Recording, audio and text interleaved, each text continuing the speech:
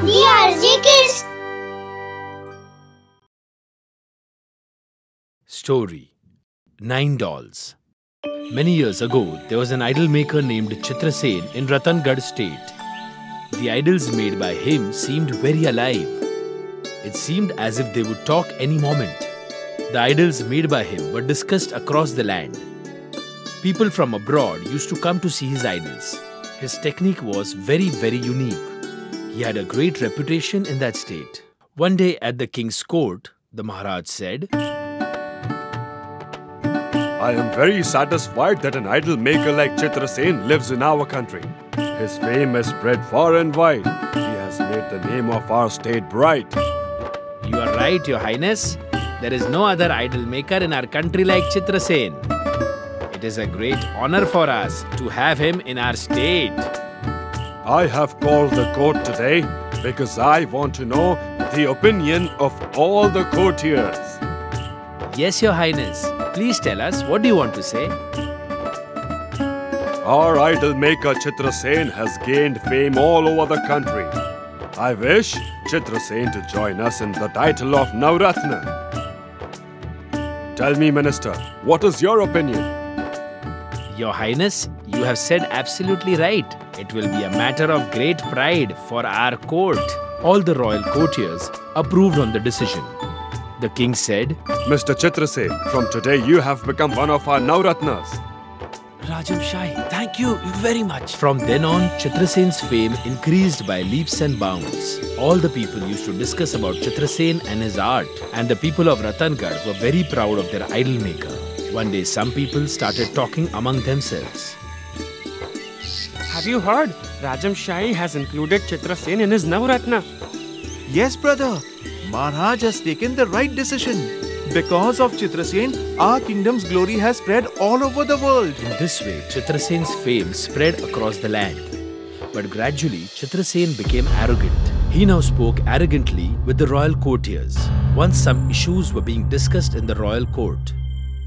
So please tell me, Chitrasen, what is your opinion on this matter?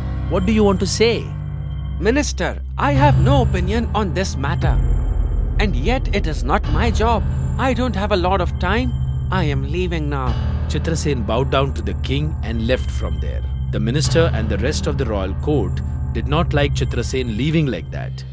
Your Highness, Chitrasen should not have left this royal court. It is an insult to the royal court. Minister, you don't worry. Chitrasen is an artist, and artists are very moody. So you please don't mind his words. On hearing the king's words, the minister and the royal court calmed down.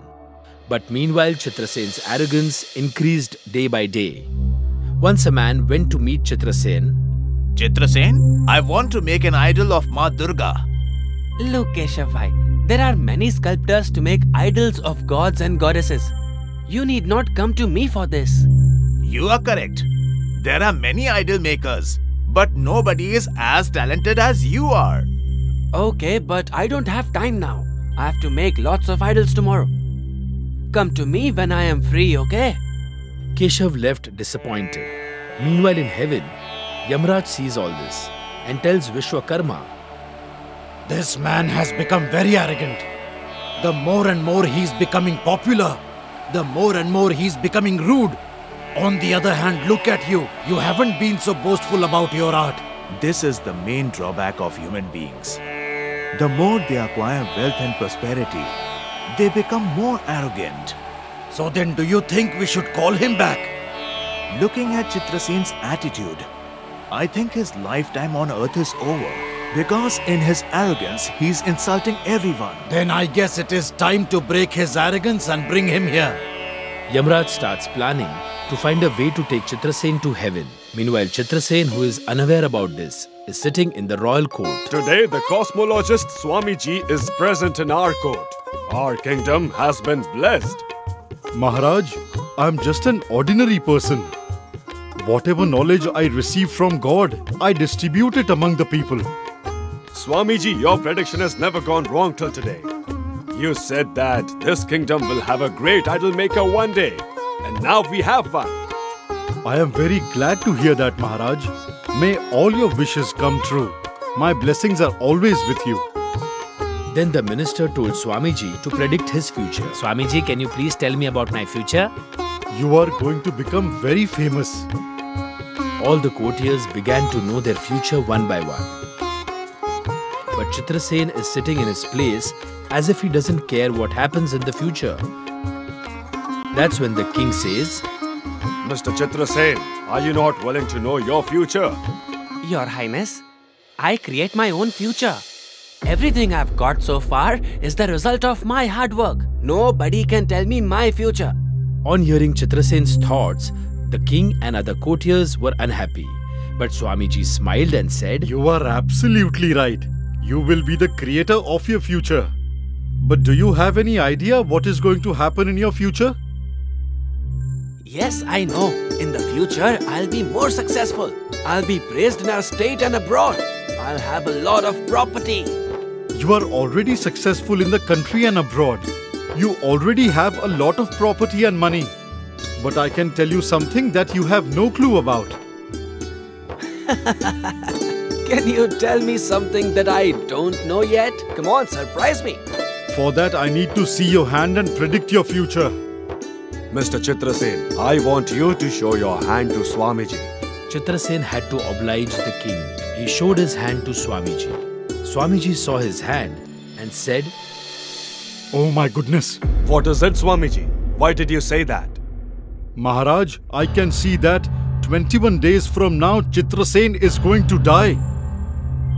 Hearing this, the royal court becomes silent. What are you saying, Swamiji? I am telling you the truth, Maharaj. On the 21st day from today at midnight, Chitrasen is going to die.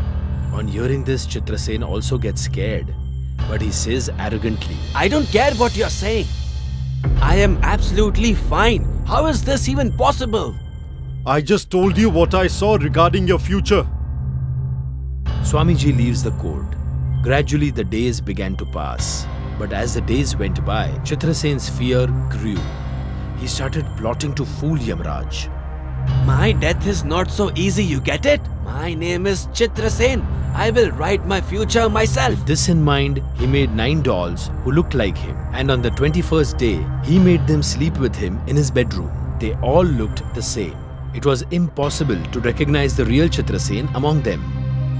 Now I will lie down next to all these. When the Yamraj comes, he will take one of them instead of me. Chitrasen goes to sleep full of pride. When Yamraj visits Chitrasen's bedroom, he was surprised to see 10 similar Chitrasens. What's this? Ten Chitrasen? Who is the real Chitrasen among them? This has become really difficult now. If mistakenly I take the wrong Chitrasen, then it will be a blunder. Yamraj thought for a while and then says, You have made a foolproof plan to confuse me, Chitrasen. But you have made a mistake while creating your idols. And I have caught that mistake. Chitrasen sat up when he heard the word mistake because he could not bear that someone would catch a mistake in his creations. He said, What's the mistake? Chitrasen, your biggest mistake is your arrogance. And you still made the same mistake. If you wouldn't have gotten up, then I wouldn't have known who the real Chitrasen is. Your arrogance is the real cause of your downfall. Come with me now. Then Yamraj took Chitrasen with him. This is why it is said that arrogance is not good.